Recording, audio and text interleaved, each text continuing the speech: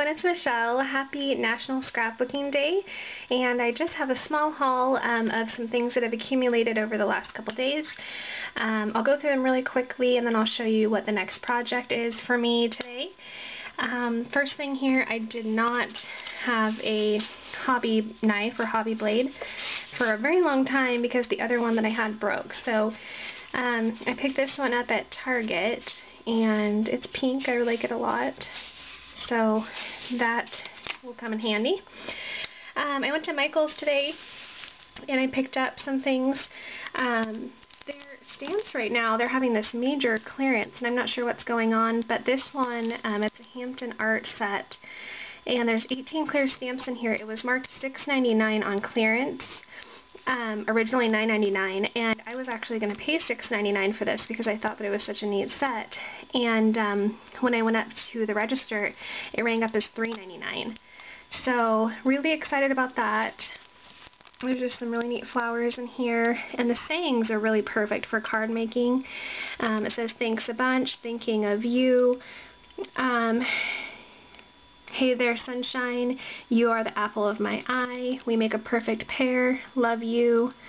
Um, and then what a cute pair.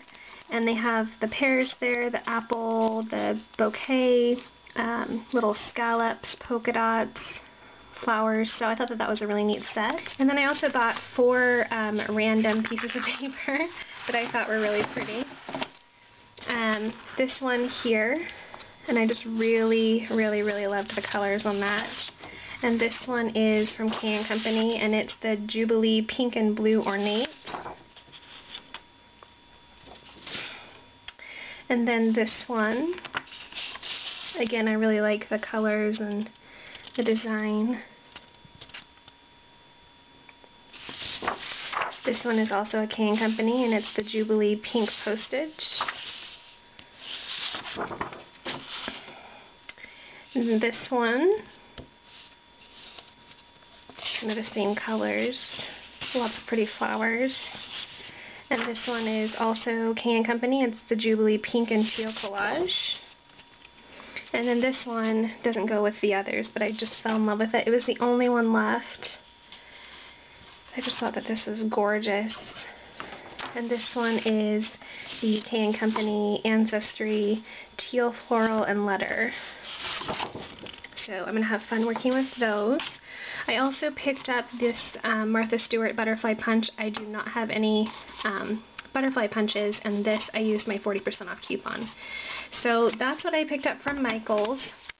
And then in the mail, I had ordered a um, a bunch of the crackle paints and um, there, was, there was an eBay seller that had really, really great prices. I think most of them rang up for about $2.49 um, a piece. So I got the Tattered Rose, the Picket Fence, the Peeled Paint, the Vintage Photo, Tarnished Brass, broken china, and the fired brick. So kind of a wide variety of colors there. And I am going to be, oh before I go on, the um, eBay seller actually added in some flower cutouts. So that that was kind of neat. And then um, the project I was telling you guys about, I actually found this box, and this was believe it or not, from a Bath and Body Works um, gift set probably about 10 years ago. And I had saved the box, not knowing what I was going to do with it. But I thought this would be great to put photos in or even a large um, mini album. And in front here, you can, on the inside, you can actually put a picture. So that's what it's kind of meant for. And then it already has this kind of cracked, distressed look on the outside but I think I'm going to go ahead and paint over it and um, use some different crackle paints on there and it has these neat little handles.